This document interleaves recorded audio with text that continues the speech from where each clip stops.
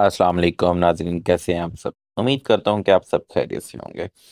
आज जो कहानी मैं आप लोगों के लेकर आया हूँ रावलपिंडी के खौफनाक मकान की है। तो चलें यहाँ शुरू। अरसलान कहते हैं कि हम जॉइंट फैमिली में रहते हैं। मेरे वालिद साहब अपने भाई से बहुत प्यार करते थे। उन्होंने उनसे कहा कि आप हमारे पास आ जाओ, पिंडी में हम सब मिलकर रहेंगे। हमें भी बहुत खुशी थी कि हमारे कज़न हम सब अब मिलकर रहेंगे। हमारे चाचू के लिए हमारे वालिद साहब ने एक घर ढूंढना शुरू कर दिया। पहले तो हम एक बिल्डिंग में रहते थे, फिर हमने उसको भेज दिया। अब हम चार पाँच मरले का घर ढूंढ रहे थे। तो हमें पिंडी के गला के लोग खावा में एक घर मिला। बहुत अच्छा था, लेकिन वो बहुत पुराने ज़माने जैसा था। तीन मंजिला बना हुआ था, चार रूम ऊपर और चार रूम नीचे थे। अच्छा खासा घर था। मेरे वालिद साहब ने देखा तो उन्हें सही लगा और मेरे वालिद ने वो घर ख़रीद लिया और वो घर अभी भी बंद पड़ा हुआ है। और एक खंडर जैसा हो गया। मेरे वालिद को बहुत सस्ता मिला वो घर। मेरे वालिद ने उस घर में काम करवाना शुरू कर दिया, जैसे कि पंखे लगवाए, टूटियाँ सही करवाई और पेंट करवाया, और फिर हम वहाँ से शिफ्ट हो गए। हमने उस घर को खाली किया और इसने अपना सारा का सारा सामान लिया। मेरी अम्मी की जो इसकी अलमारी थी लकड़ी की, वो भी हमने सेट ही नहीं की थी, सहन में रख दी थी। तो भाई वो सीधी स्ट्रेट ही गिर गई, ऐसे गिरी कि टूट के चूर हो गई एकदम फारिग। और उसकी इतनी तेज़ हवाई कि हम सारे, पूरी फैमिली छत का नज़ारा ले रहे थे। इतनी ज़ोर की गिरने की आवाज़ आई कि जो हमारे साथ वाले थे, नेबर्स, वो हमसे पूछने आए कि, खैर है। वो नेबर्स हमें ऐसे देखे जा रहे थे, मेरे वालिद सख्त मिजाज के हैं। मेरे वालिद के दिल में जो बात होती है, वो मुझ कर देते हैं। मेरे वालिद साहब ने कहा हाँ खैर है। अलमारी गिरी है, कुछ नहीं हुआ। तुसी जाओ बुज़ुर्गों, अपना कम करो, सानू अपना कम करने दो ये कहकर मेरे वालिद ने अपना दरवाज़ा बंद कर दिया। मेरी अम्मी उन पर बहुत गुस्सा हुई और अम्मी अबू की ऐसी लड़ाई हुई कि ऐसी उनकी ज़िंदगी में कभी लड़ाई नहीं हुई थी। लेकिन आज छोटी सी बात पर हो गई। बात यहाँ तक हो गई कि अम्मी घर जाने लगी। वहाँ मेरी दादी ने ये मैटर संभाला। हम सेटिंग करने लगे वहीं मेरे चाचू भी आ गए थे कुछ दिनों में। हम बहुत खुश थे, मेरे चाचू की शादी हुई थी, उनके भी सिर्फ़ दो बच्चे थे, दोनों लड़के, एक चार साल का और एक दो साल का।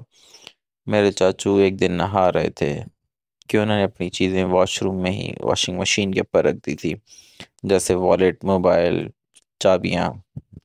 भाई, मेरे चाचू नहा कर फारिग हुए तो उन्होंने देखा कि उनके सामान के पास दो मुँह वाला सम बैठा हुआ है। उन्होंने पूरा देखा कि उनका पूरा सामान सांप के दायरे में था। मेरे चाचू ने उन्हें चीख मारी और बेहोश हो गए। जब घर, अबू ने जाके देखा तो चाचू बेहोश थे। जब उन्हें होश में लाया तो चाचू ने पूरा वाक्य हमें बताया। चाचू उसके बाद से गुमसुम रहने लगे। ना ही किसी से बात करते थे और ना ही मेरे वालिद साहब से, जो कि उनका भाई प्लस दोस्त था, उनसे भी नहीं। वो जब भी उनसे कोई बात करते थे तो तल्ख लहजे में करते थे। मेरे वालिद साहब ने एक रात मेरे चाचू को कहा, आओ ऊपर छत पर चलते हैं, टहल कर आते हैं। लेकिन मेरे चाचू ने मेरे बाबा को भारी आवाज़ में कहा कि मुझे तंग ना करो, नहीं तो तुझे और तेरे बच्चों को मार दूँगी। तो मेरे वालिद साहब ने मेरे चाचू से बहुत बुरी तरह से पेश आए और कहा, ये कैसे बात कर तू? चाचू ने मेरे वालिद साहब को गर्दन से पकड़ के उठा लिया।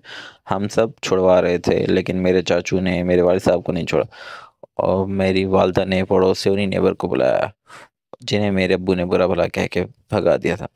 उनने छोड़ाया और कहा कि आप इन्हें एक बुज़ुर्ग हैं मस्जिद के इमाम, आप उनके पास ले जाएँ, क्योंकि वो रूहानी अमल भी करना जानते हैं।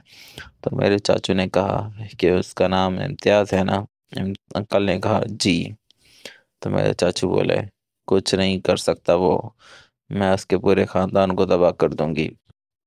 मेरे चाचू को तो लेकर वहाँ से वो ना जा सके, लेकिन उन बुज़ुर्ग को घर ले आए। जब उन बुज़ुर्ग ने मेरे चाचू की पाँव की छोटी उंगली पकड़ी और कुछ पढ़ने लगे और कहा कि आपके भाई के ऊपर एक चुड़ैल का साया है, जिसने इनको नहाते हुए देखा है और इन पर आशिक हो गई है। वो चुड़ैल अभी जवान है और उसके भी तीन बच्चे हैं। हमारे घर में तो जैसे क्यामत आ गई, फिर उन बुज़ुर्ग ने कुछ तावीज़ दिए और कहा कि इनको पहना दो, और नहाते वक्त भी ये तावीज़ नहीं उतारनी। वो चीज़ मेरे चाचू को तंग नहीं करती थी, अब वो चीज़ मेरे घर वालों को तंग करती एक दिन मेरे दादू को किसी ने उठाया और बोला, आओ बाहर नाश्ता करते हैं। मेरी दादू उठी, मुँह धोया, और हमारा वाशरूम ऐसा था कि हमारे वाशरूम के दो दरवाजे थे, एक दरवाज़ा कमरे के साथ अटैच था और एक बाहर की तरफ़। मेरी वालदा को ऐसा लगा कि वॉशरूम में कोई है। मेरी अम्मी ने जब देखा तो वहाँ कोई था। वहाँ से दादू गुजर रही थी। मेरी अम्मी ने दादू से पूछा, खैर है? तो मेरी दादू ने कहा कि, तुम ही तो मुझे उठाया है कि बोला, आओ नाश्ता करें। तो मेरी वालदा ने कहा कि, मैंने तो आपको नहीं उठाया। तो मेरी दादू समझ गई और मेरी दादा ने कहा हाँ बात को पलटते हुए मैं नमाज़ पढ़ने के लिए उठी थी। एक दिन मैं, मेरी चाची, हम सब छत पे थे।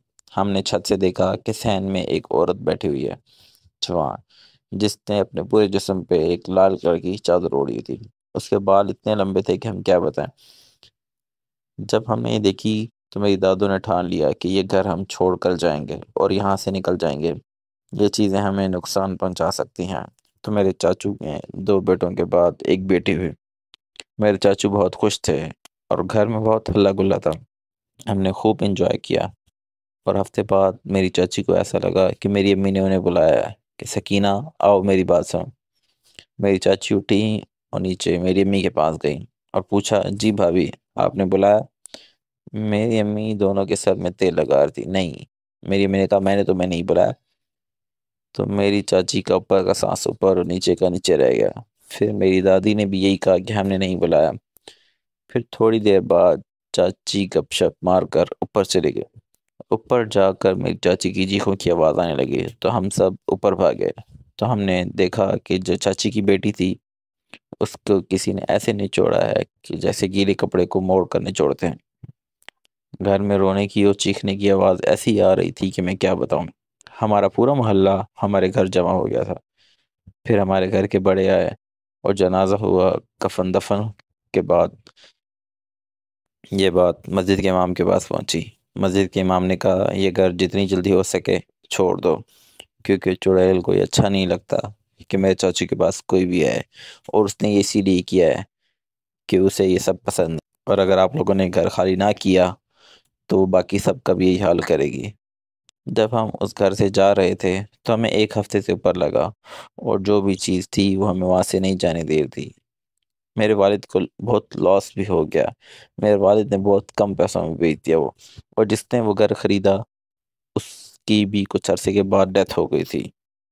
हम लोगों ने वो घर शिफ्ट कर लिया और वापस अपने गाँव में आ गए। इसके बाद मेरे चाचू की दो बेटियाँ भी थी और बहुत हँसी खुशी ज़िंदगी गुजारने लगे और हम लोगों को इस तरह की किसी भी चीज़ का कोई सामना नहीं करना पड़ा।